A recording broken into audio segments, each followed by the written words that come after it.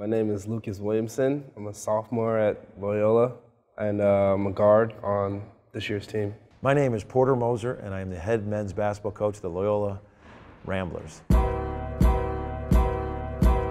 The atmosphere during March was, was special. Everybody here was, was excited. They were all talking about when the next game was going to be. They all knew who we were going to play next. One of the coolest parts for me, especially being from Chicago, is how much the city of Chicago embraced us.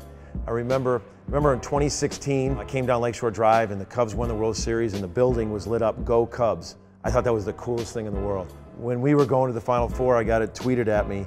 The, the city, it said, Go Loyola. The skyline was maroon and gold and go Loyola. That became real for me and how much the city embraced us watching that.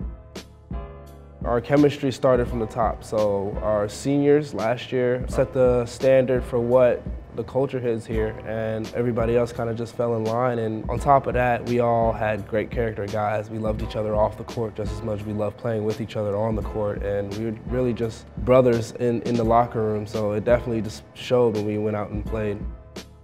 The, the whole tournament experience was a lot of fun. We really brought the whole campus together and you can really tell that this year they're, they're excited for us to start playing again the city has so much to offer in so many different areas. There's so many different people here.